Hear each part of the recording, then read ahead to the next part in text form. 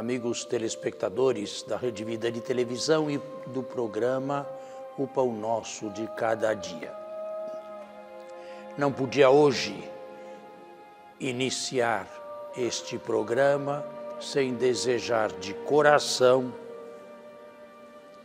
boas festas de Páscoa, feliz Páscoa para todos aqueles que me ouvem e me escutam.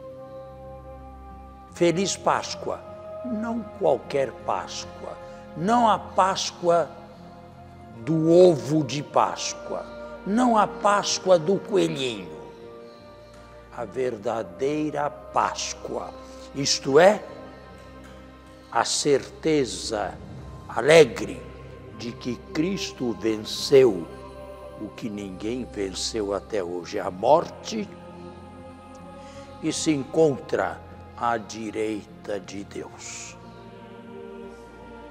A Páscoa hoje é a celebração da vitória de Jesus.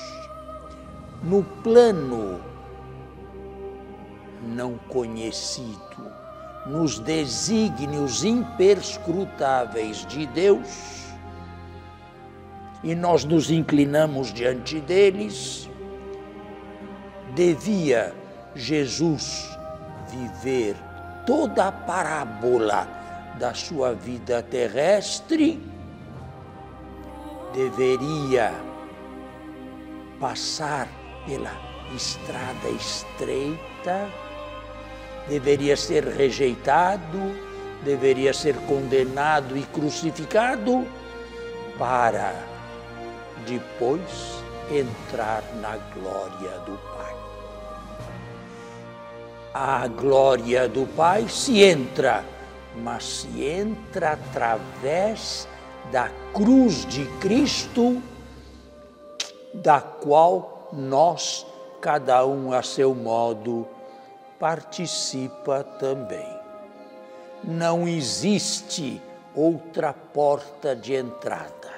Não existe outra maneira de estar com Deus a não ser através da cruz de Cristo. Mas esta, e somente esta, abre-nos as portas da eternidade, como fala, canta alegremente a liturgia deste domingo de Páscoa, liturgia solene, liturgia feliz, da qual nós participamos.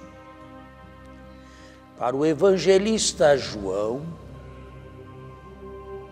no desígnio de Deus, Jesus deveria subir progressivamente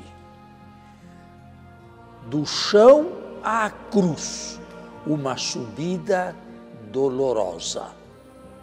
Da cruz à ressurreição, o que hoje celebramos, e da ressurreição à ascensão. E nós, caríssimos irmãos, podemos seguir os mesmos passos agradecidamente de Jesus.